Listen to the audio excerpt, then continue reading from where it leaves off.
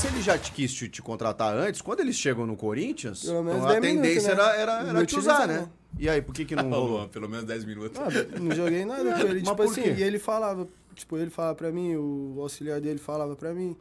E tipo, aí eu falei, mano, por todo mundo tem a oportunidade de jogar com ele, que ele veio pra cá, não conhecia, acho que muita gente. Sim. E tá conhecendo, mano, então, na minha Te cabeça. deu esperança? Hã? Te deu esperança a troca de muito, treinador? Hã? Porque você não vinha jogando. Aí eu não vinha jogando, aí trocou o fala, treinador, eu falei, ah, agora... agora, e, tipo, um treinador de fora, ele vai ver o. Vai ver no dia a dia aqui, Sim. mano. Vai dar oportunidade pra quem tiver melhor. E aí começou. Começou a passar os dias, tudo, os jogos. Vi você bem. Eu indo bem, indo pro jogo, só que não entrava, mano. E aí eu não entendia, porque, tipo, indo pros jogos, treinando bem. Aí.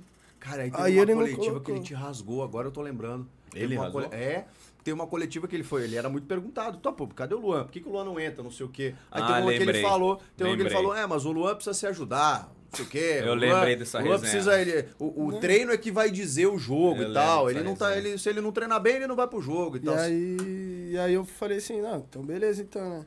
Fui lá na, na, na fisiologia lá e comecei a buscar os treinos da semana. Falei, eu perguntei pros caras, eu falei, mano, deixa eu ver os treinos da semana aí e comparar com o do time, né? Porque tem GPS. Eu falei, mano, todo jogo eu sou dos três que mais corre.